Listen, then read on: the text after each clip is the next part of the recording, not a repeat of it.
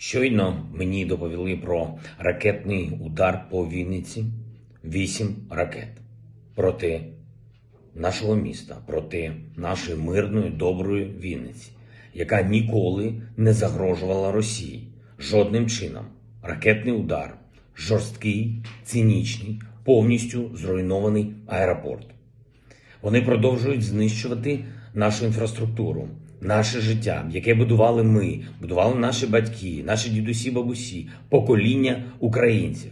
Ми повторюємо кожного дня закрити небо над Україною, закрити для всіх російських ракет, для російської бойової авіації, для всіх цих терористів. Зробіть гуманітарну повітряну зону без ракет, без авіабомб.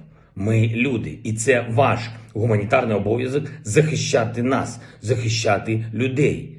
І ви це можете. Якщо ви цього не зробите, якщо ви не дасте нам хоча б літаки, щоб ми могли самі себе захистити, то можна зробити тільки один висновок. Ви також хочете, щоб нас дуже повільно убивали.